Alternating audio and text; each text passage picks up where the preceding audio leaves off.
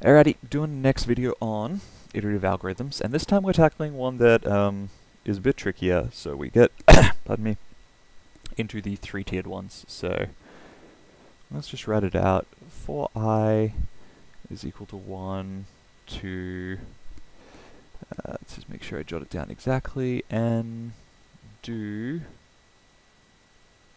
for j is equal to 1 to i do for k is equal to 1 oops to j. Do let's just make that a bit neater. X plus plus or any any single operation. Um, Actually, the exact example. Oh no, yep, this is one of the examples. Question 15. Good times. So this does obviously take it kind of one step further, um, and just by looking at it, it's three tiers, so we can make a rough approximation that this is going to be theta g of n cubed. That's uh, shouldn't come as any great surprise because it's a third nested loop. But how do we do it? And specifically, how do we do it the way that we've been doing it? So I'm going to write this down exactly the same way, because that gets us out of algorithm land and into math land, and math land has rules. So for i equals 1 to n, for j equals 1 to i, whoops, for k equals 1 to j, 1, right? Because x plus plus is just that single thing. And this is, again, this is our cost of this algorithm. So next up, we're going to uh, simplify this out kind of as we always do. So we're going to go um, C event is equal to i is equal to 1 to n of j is equal to 1 to i of, and this is our famous j minus 1 plus 1 is j. So nothing of any kind of great surprise there.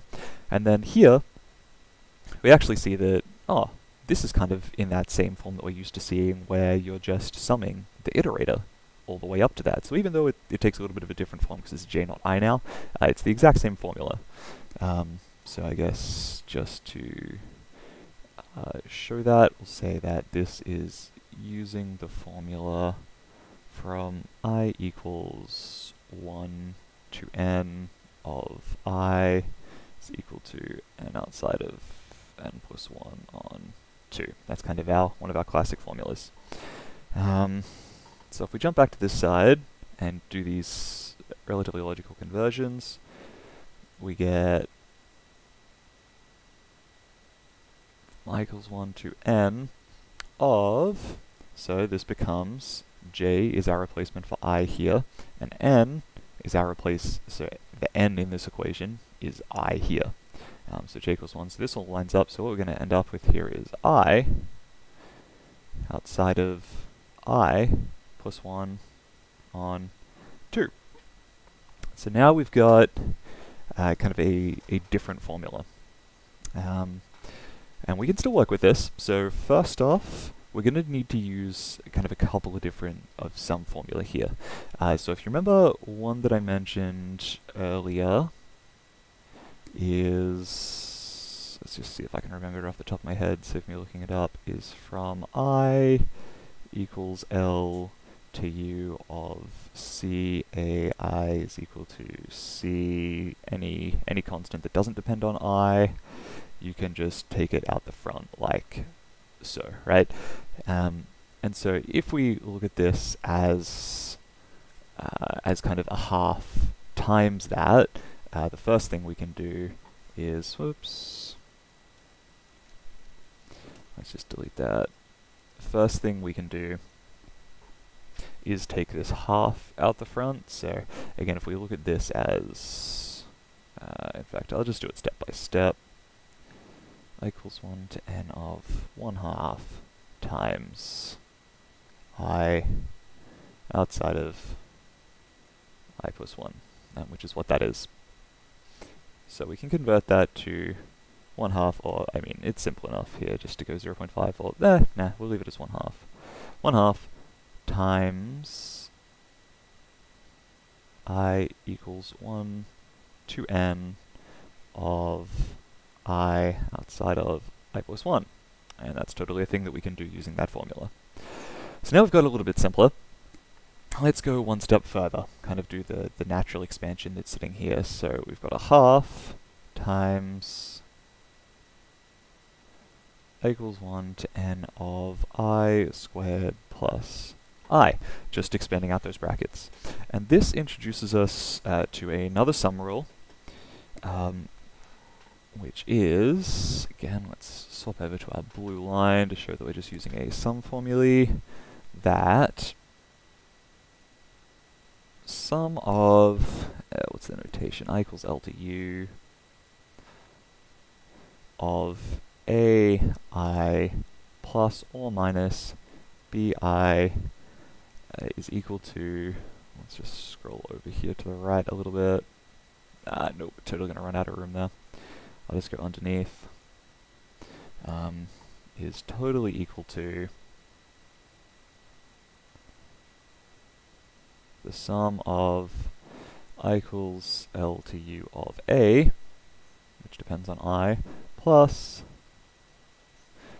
the sum of i equals L um, of bi. So basically we can split these two terms that both depend on i, which is exactly what we've got here. We've got term 1, which totally depends on i, it's i squared, and term 2, which totally depends on i because it's i.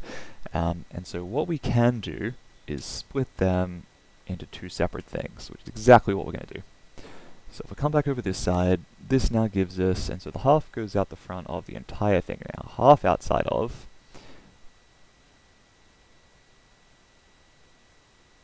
i equals 1 to n of i squared plus i equals 1 to n of i. And so now we've expanded it into a different form, and all of a sudden this term is starting to look like something uh, that we can do something with. So let's expand that term first. We've seen that a bunch of times now. So we're going to come out to half outside of n sigma i equals 1 to i squared plus, and this we know expands to n outside of n plus 1 on 2, because n is our top term there. So, that gets rid of 1 of our sum notation, but what do we do about the second one? Something to i squared. We haven't actually seen that before. But, luckily, it is a formula. So if we just write down, again, this formula is just in the back of our um, week 3 notes. I'll just write down it exactly. What we have is the sum of i equals L to n of i to the power of k is roughly equal to, and it does use roughly equals here, but I think we can trust it, 1 divided by k plus 1 times n to the k plus 1. I have no idea how they reasoned that out, but I'm just going to take their word for it because it's super helpful. So we now can expand out our i squared term, because i squared is i to the power of k, where k equals 2. So now if we expand this out, what we get is 1 half times, so this whole thing becomes 1 over, now k is 2 in our case, to the power of k to the power of 2, so 1 over 2 plus 1 times n to the power of 2, because k is 2, plus 1 is 3. So times n to the power of 3. So that's how expanded this term. Plus, and outside of n plus 1 over 2. And now we've gotten rid of all of our sum notation. We've got the entire thing purely in terms of n, um, which is happy days. So, I mean, if we want to keep going with this, we can. We can say a half outside of n cubed on 3 plus n squared plus n on 2. Where we can expand the half back in. We can say that this is equal to n cubed on 6 plus n squared plus n on 4. And actually, you can probably even get it further than that. Um, but at this point, that is totally the answer to our... Well, I don't actually quite have enough room to write cost here, but the cost of this equation is equal to that, which is, unsurprisingly, um, bounded by theta g to the n cubed, because highest order polynomial is n cubed, so this constant doesn't matter, that doesn't matter, etc., etc., etc.